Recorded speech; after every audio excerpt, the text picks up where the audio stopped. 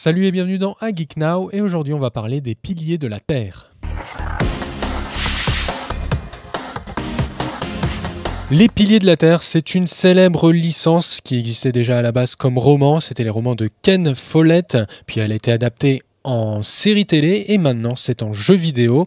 Tu as d'ailleurs pu euh, voilà avoir un pu tester un, avant-goût de, euh, de, ces piliers de la terre. C'est même le goût complet. Le goût complet auquel parce que on a accès pour l'instant. Parce que voilà le jeu en tout cas étant vendu complet le, depuis le 15 août, mais vous avez accès qu'à euh, 7 premiers chapitres, un tiers. Il y aura deux autres parties qui arriveront plus tard.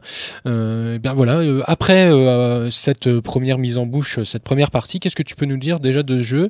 De quoi ça parle? Qui Et qui s'occupe du développement? Alors c'est un point and, click, un jeu d'aventure euh, un peu comme un Telltale, entre un ancien point and click euh, euh, classique et du Telltale. C'est un petit peu entre les deux, c'est très narratif, il n'y a pas beaucoup de puzzles, il n'y a pas beaucoup d'énigmes, c'est assez facile de, se, glisser dedans, de, de progresser, tout en prenant certaines décisions de temps en temps avec euh, des choses qu'on peut faire ou qu'on n'est pas obligé de faire. Et à la fin de, chaque chapitre, ils vont dire ah bah, Vous avez fait ça, vous avez fait ça, vous avez, fait, vous avez agi ainsi, euh, tel personnage vous avez apprécié ou non, un petit peu comme, dans un tel tel. Euh, ensuite, c'est le reste, c'est vraiment du jeu d'aventure assez classique qui reprend chapitre par chapitre l'œuvre de, Ken Follett. vous allez pouvoir jouer plusieurs personnages. Alors, ça se centralise sur euh, deux personnages euh, principaux. il y a euh, Jack, qui est un jeune... c'est un peu compliqué parce qu'il y a vraiment toute une famille regroupée de, personnes en fuite. Et puis il y a le père Philippe d'un autre côté, qui est un, ecclésiastique, qui, est essaye de restructurer une, une église euh, dans un milieu euh, vraiment, vraiment difficile. Parce qu'on est en fait au XIIe siècle, en 1120, en Angleterre, dans euh, une période vraiment sombre, voilà, une limite guerre civile, même guerre civile, on peut le dire, avec un changement de, de gouvernement, puisqu'il n'y a plus d'héritier pour, pour le roi, et donc forcément les intrigues vont bon train pour, pour prendre la place la plus convoitée du pays. Et tous ces personnages, bah, ils vont être mêlés à cette histoire. Évidemment, pour le premier livre, pour ces sept premiers chapitres, c'est euh, surtout euh, poser l'ambiance, poser les personnages, découvrir un peu ce qui se passe. On règle quand même quelques problèmes, mais on est vraiment juste à mettre un pied dans, les, dans, les, grosses intrigues, en fait. Mhm. Euh, et on fait ça, bah, chapitre après chapitre, en prenant des décisions et puis en, en découvrant un petit peu euh, qui aime qui, euh, qui, euh, qui va faire quoi avec certains indices, bien sûr, surtout si on n'a pas lu les livres. Là, on, navigue à vue, à vue en découvrant au fur et à mesure. Tu, donc, comme on l'a dit, c'est une adaptation mm. des romans de Ken Follett. Est-ce que c'est, tu parlerais d'une adaptation vraiment très fidèle ou est-ce que le système de choix ouvre à voilà, quelques digressions? Alors c'est difficile à dire pour le moment, puisque forcément on n'a qu'une partie. Mm. On voit que certains choix se répercutent d'un chapitre à l'autre de temps en temps. Euh, par exemple, il suffit d'une petite action pour que plus tard un personnage vous dise Ah, mais je t'ai vu faire ça et euh, je ne suis pas content avec toi. Donc je doute qu'il y ait des, des, grosses répercussions, mais peut-être que chaque petite action va euh, influencer sur un personnage pour le faire basculer d'un côté ou de l'autre. Donc pour peut-être donner une, une une histoire différente à chaque fois.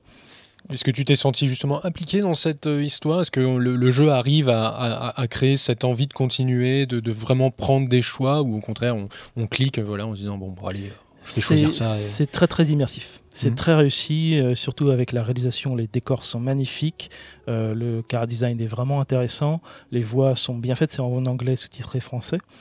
Mhm.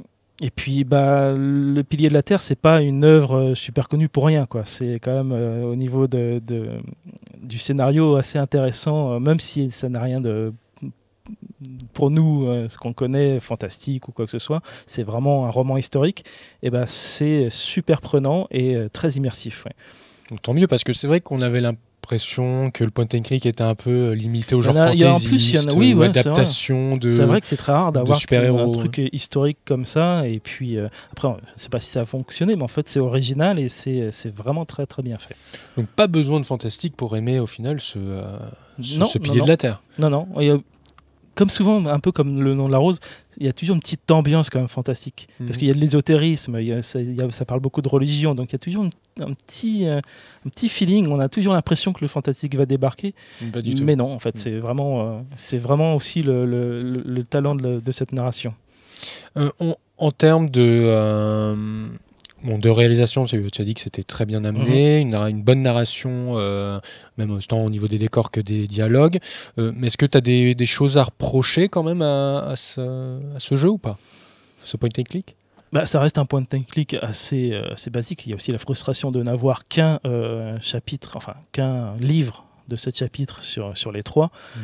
Euh, je pense que les autres vont venir, enfin j'espère dans l'année, ou enfin j'espère qu'il ne faudra pas attendre trop longtemps pour la suite, sinon on va un peu oublier où on en est.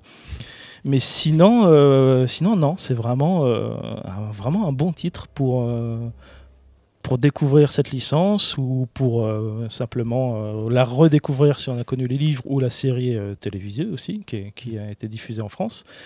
Euh, c'est euh, non, c'est vraiment un bon, un pied, un bon pied dans la dans la licence. Donc c'est disponible sur PS4, Xbox One et PC depuis le 15 août. C'est développé par euh, Daedalic, mhm. le célèbre développeur de allemand qui est aussi à l'origine de Deponia, une trilogie comique, elle beaucoup plus rigolote et, et, très réussie aussi. Donc vraiment là, il continue à faire dans la qualité faire dans la qualité. Bon, tant mieux.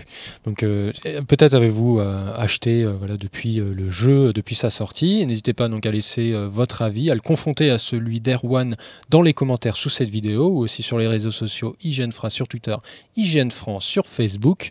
Nous, on se dit à très vite pour d'autres avis de jeux vidéo, peut-être de point and click. À très vite. Ciao. Salut.